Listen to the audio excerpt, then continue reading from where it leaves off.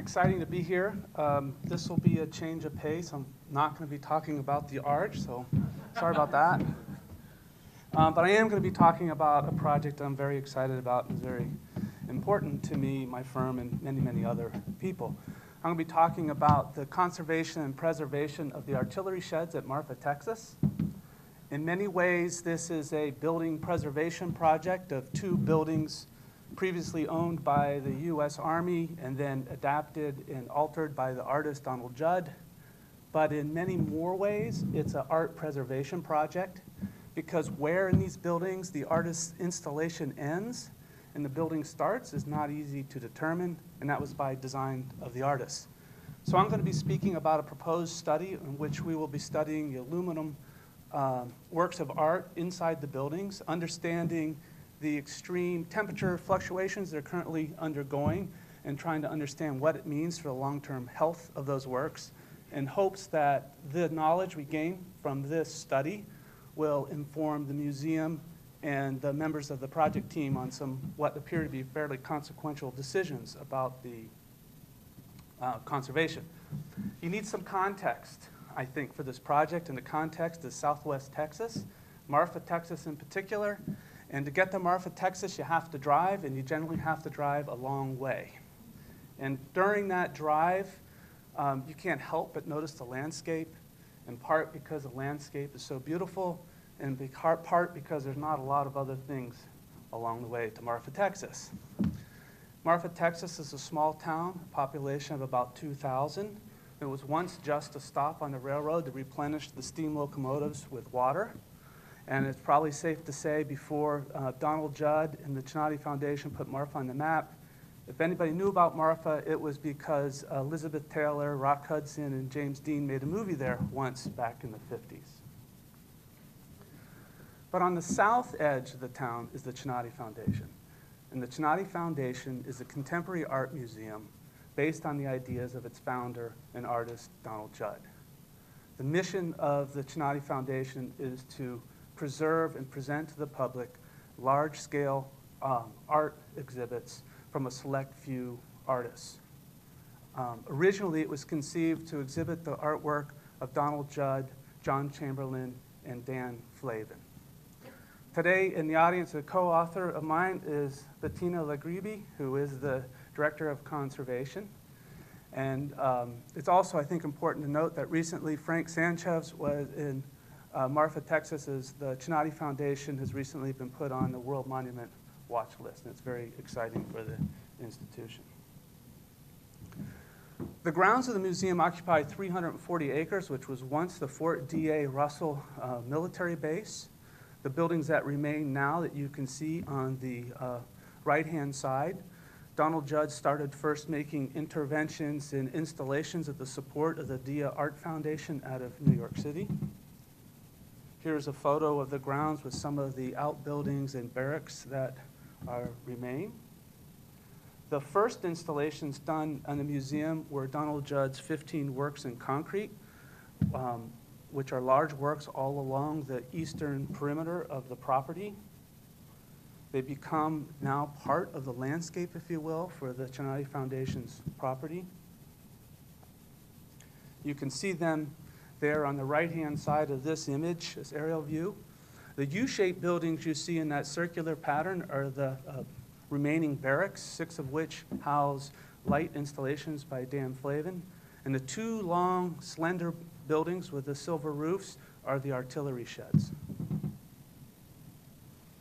There are other artist exhibits, but it's safe to say the two artillery sheds are the center of Chinati's permanent uh, installations. They're two very um, large buildings.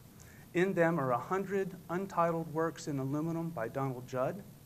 Each building is about 350 feet long, one a little bit shorter than the other, and 75 feet wide. They were originally gun sheds and used to store trucks or tractors that would pull cannons. Along each of the long sides of both buildings were roll-up garage doors, and the trucks would enter one side with the cannons in tow, be uh, serviced and stored, and exit out of garage doors of similar size um, on the opposite side. To say these structures simply house the aluminum works really understates the importance of these structures to the installation and what Donald Judd thought of them. A matter of fact, his writings state that the size and scale of the buildings dictated the nature of the works that he decided to put in them, and such that the works and the buildings become part of one installation. And he modified the buildings for purpose. He removed all the roll, uh, rolled up uh, the garage doors and installed windows of his own design of single pane clear glass that flood the space with light and that interacts with the milled aluminum works. The precise fabrication of the aluminum works sits in contrast with the rough surfaces of the board form concrete and brick walls and uh, industrial floor slabs, yet the simplicity of both come together to make a unified whole. The light in Marfa changes throughout the day and such the interaction that light with the works changes. This is an image looking east at sunrise. And for me, I see warm, soft surfaces despite intellectually knowing those are smooth, hard aluminum surfaces.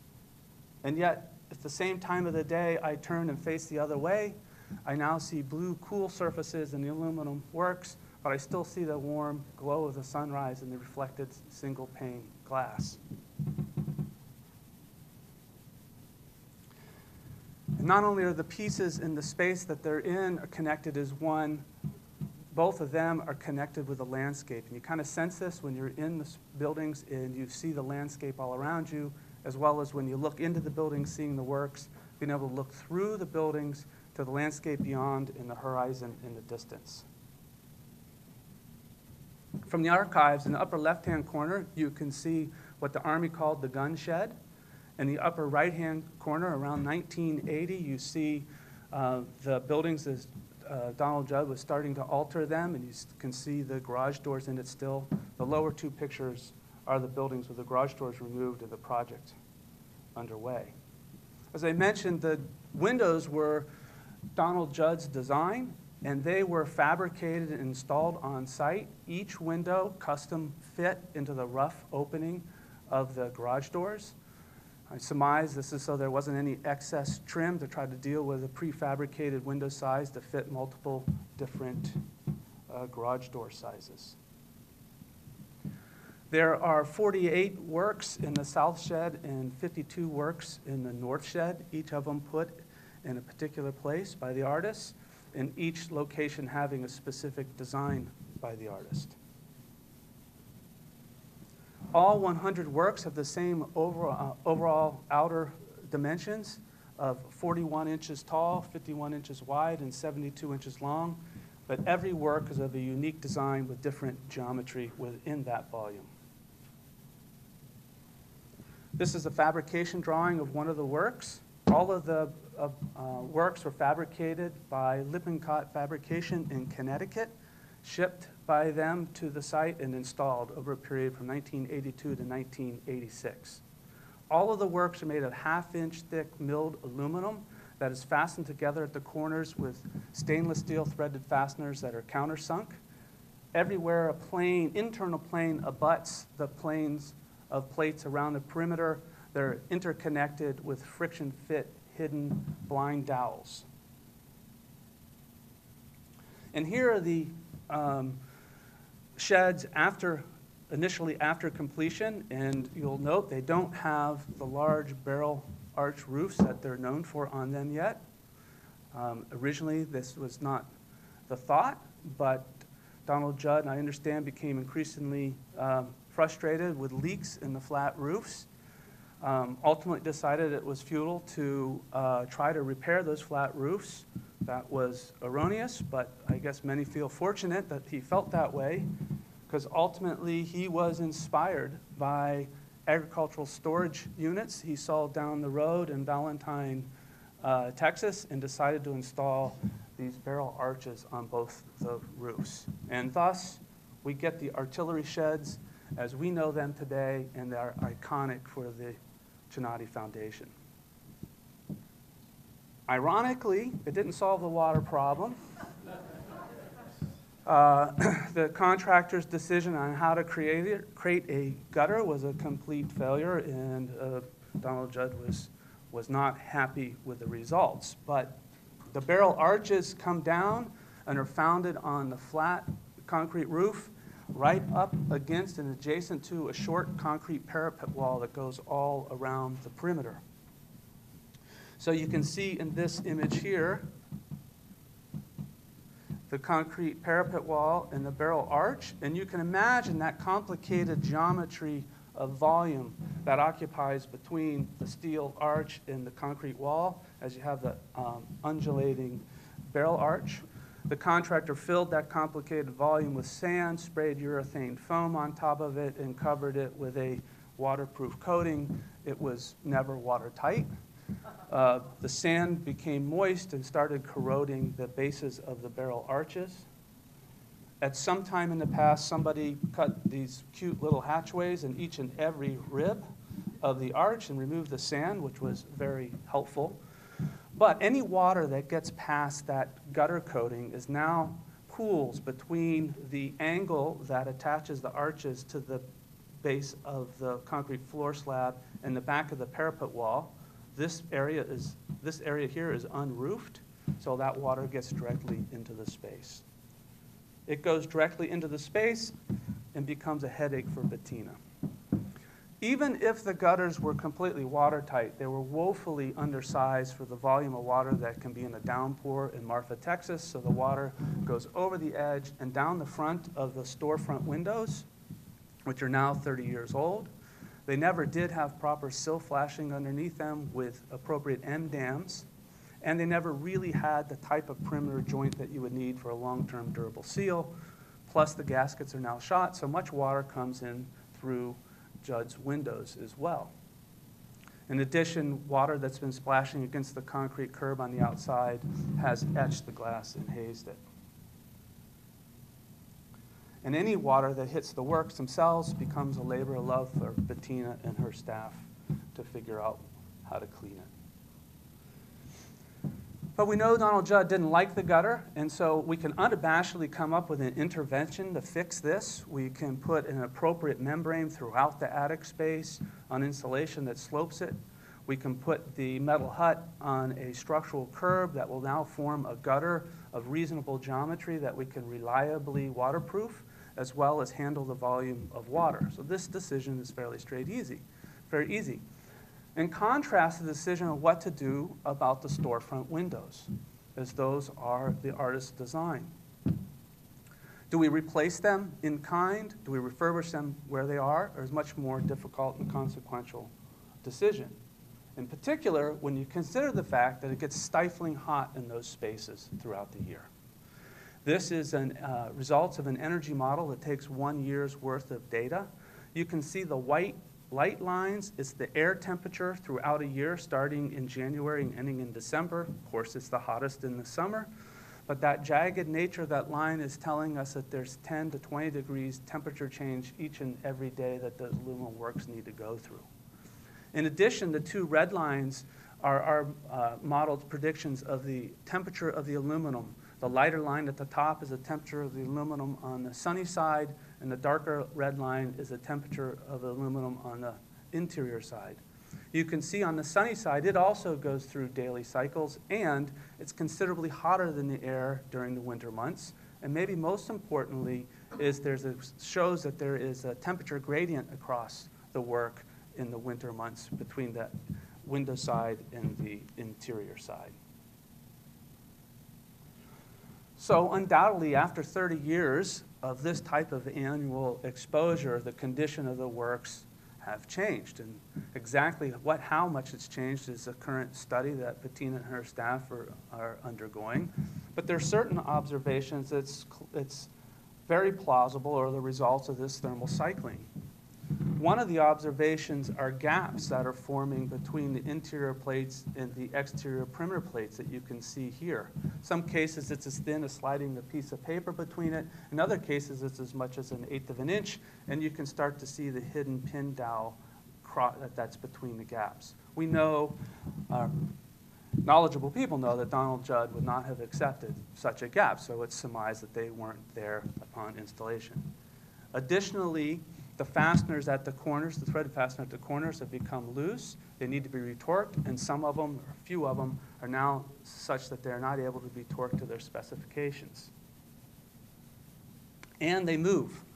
Some of the works move more than others. This is a plan view showing a work number 28 has moved over time. Um, each one's going to move differently because they're all of different geometry, and the way these aluminum structures are going to respond and behave in the therm thermal cycles is going to be a function of that geometry. so we looked at possible, modeled possible interventions. The upper left-hand graph is the one I described earlier, and then across the top is if we keep single pane glass. The middle shows that air exchanges can make a slight difference in the overall air temperature, but does not change the uh, daily fluctuations, and it does not have a large impact on the temperatures of the aluminum. If we add HVAC to our model, of course, we can tell the model never let the air be hotter than 75 and never less than 65. So the air temperature is, is controlled, except we still have cycles during the spring and fall, and we still have temperature gradients and cycles in the aluminum we look across the graphs on the bottom, we're seeing the results of if the single pane glass is replaced with IGUs in low E. Um, you can see if that's all that we do, we do make a modest difference in the, in the temperature uh, and the fluctuation, but we make a dramatic change in the temperatures in the aluminum. The aluminum now is not getting the solar gain that it would ordinarily get, so they're not little heaters in the space. And now the heat of the, the, the temperatures of the aluminum are essentially averages of the temperature of the air. Air exchanges, as you can see, help. And of course, both IGU low E glass and HVAC, you can start to approach conditions that might be more, more common for the storage of art. However, those of you in this room probably know better than I the consequences of changing single pane glass to, to IGUs and the architectural ramifications. And I think that's only more acute if you think of this not in terms of architectural ramifications, but in changing an artist's intention. If you think about the HVAC equipment, even if it can be hidden up into the attic, the addition of vents throughout the ceiling space would have definitely impact on the quality and simplicity of the space. And you can't tell from this photo, but when you're experiencing this installation, it's very quiet and very silent, and there's concerns about that being marred by the hum of mechanical equipment. So we have to ask, clearly um, the, arts, the, the aluminum works are in conditions well outside norms for storing art but these are consequential decisions, and is it really necessary? Maybe we better best understand the behavior of the aluminum um, in this space. So, being an engineer, I like to look at a graph, and Bettina and I used this graph when we spoke with the original fabricator, Alfred Lippincott, who visited Marfa recently. I can surmise that it's very likely after 30 years, these works in aluminum have kind of self acclimated these opening of gaps and loosening of fasteners are relieving internal strain of the work that goes through the thermal fluctuations, and perhaps, maybe optimistically, that the rate of change is plateauing over time. So perhaps things don't get much worse if we don't take these um, drastic intervention measures. But we don't know, and this is the subject of the study that we have embarked on. We started by getting a year's worth of data where we put data loggers on three of the aluminum works, and we're getting multiple, uh, we're getting temperature from multiple locations within each work, and we're getting temperature within the space and um, exterior temperatures as well. What we found after a year is actually it's a little more acute than our preliminary model showed us. We have a maximum aluminum temperatures of over 130 degrees. We get maximum daily change of the aluminum temperatures of uh, above 40 degrees. We're seeing maximum differential across a work of as much as 20 degrees and peak air temperatures of 111 degrees. And you can see the blue line at the top, you can see how it peaks with morning sun, and the lighter colored line on the bottom, it peaks in the afternoon from uh, the western sun. So we can use this data to calibrate and validate our models. There's another very important piece of information we need to make the models work, and that's the emissivity of the aluminum, which is very, very sensitive to its surface. Uh, conditions, unfortunately, you can't get this non-destructively, so we're going to have to take small samples and emulate as closely as possible the actual surface conditions of the work so that we can model it appropriately. Essentially, the emissivity is the measure of how much of the solar radiation that hits the surface is absorbed and emitted versus reflected. But with the uh, data logging and uh, better um, surface properties, we can do computer modeling, which will be done in two parts. One part will be a whole building energy model that we'll do with Energy Plus, and another part will be a finite element model that we build initially of the three works and um, of the um, eventually perhaps more as needed. The Energy Plus model will take care of the outside temperatures, uh, account for solar radiation, re-radiation of the interiors, ultimately giving us temperature of the materials and inside air as a function of time.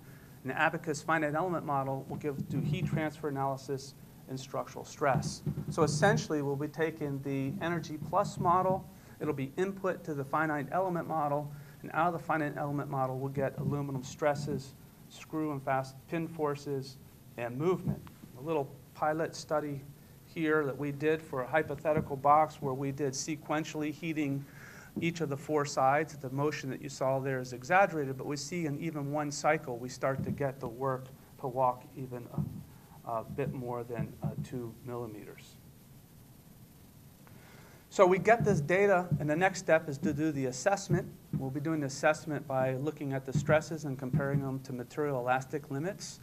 We'll look at uh, fastener deformations both analytically and through mechanical testing. And most importantly, we'll have to look at the uh, fatigue fragility to see when and if we need have a risk of cracking. So, in conclusion, one, go to Marfa. You will not regret it. It's a wonderful experience. It's fair to say that it's changed me in some ways. Um, two, um, become a member of the Chinati Foundation. You'll be supporting good people doing good work. But clearly, these works are in an environment that are well outside the norms of what art would ordinarily be stored in. But the intervention to make a change from that has such consequence that um, a study to clearly understand the response of the aluminum to these temperature swings would be helpful not only to the museum, but to the project team that have to ultimately make these difficult decisions. Thank you.